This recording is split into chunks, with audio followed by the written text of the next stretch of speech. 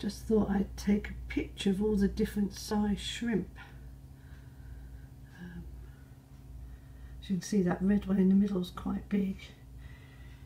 About an inch I think, maybe a bit more.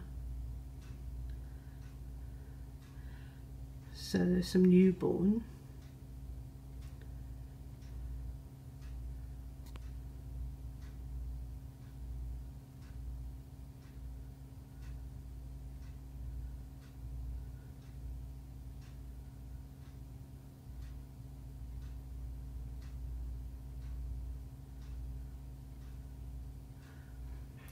Just thought it was interesting.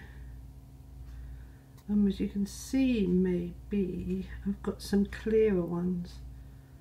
Um,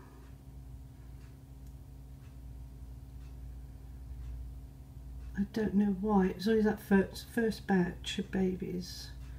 So maybe they weren't from these because all the new babies are really red.